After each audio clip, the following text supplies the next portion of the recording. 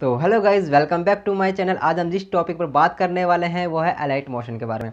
जो आप status create करते हैं अलाइट मोशन से और उसमें जो फ़ॉन्ट यूज़ करते हैं, वो आपको कहाँ से डाउनलोड करने हैं, कैसे इंपोर्ट करने हैं अलाइट मोशन के अंदर, आज मैं आपको बताने वाला हूँ। क्योंकि कई लोगों को ये पता है कि जो फ़ॉन्ट है, वो कहाँ से डाउनलोड होंगे, लेकिन वो इम्पोर्ट नहीं कर पाते अलाइट मोशन के अंदर। तो आज मैं आपको वही बताने वाला हूँ कि आपको कैसे इंपोर्ट करने हैं, कहाँ से डाउनलोड करने हैं, ताकि आप अपने स्टेटस है जो क्रिएटिव बना सकें। अगर आपको मेरा नाम नहीं पता तो मेरा नाम है राहुल। आप देख रहे हैं आर्किटेक्ट चैनल।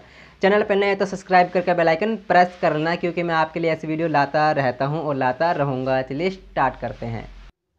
तो गाइज़ आपको फ़ॉन्ट इंपोर्ट करने के लिए सबसे पहले आपको जाना अपने फ़ाइल फ़ाइल में।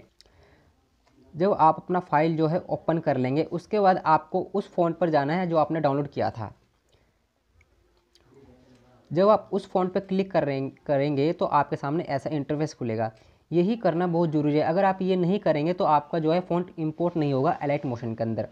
उसके बाद आपको यहाँ पर ओके पर कर देना क्लिक जब आप ओके पर क्लिक कर देंगे तो यह है फ़ॉन्ट पर, वहाँ पर फ़ॉन्ट पे इंपोर्ट होने के लिए रेडी हो जाएगा। जब आप ओके पर क्लिक कर देंगे ओके पर क्लिक करने के बाद आपको क्या करना है? अपने एलाइट मोशन के अंदर जाना है। एलाइट मोशन पर जाने के बाद प्लस आइकन पर क्लिक करना है क्रिएट प्रोजेक्ट पर जाना है।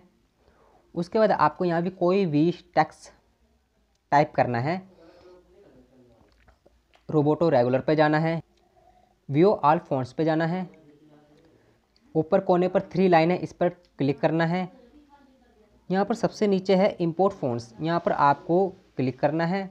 उसके बाद जो आपने डाउनलोड किया था, उस फ़ाइल पर, उस फ़ोन पर आपको यहाँ पर क्लिक करके जो है इम्पोर्ट पे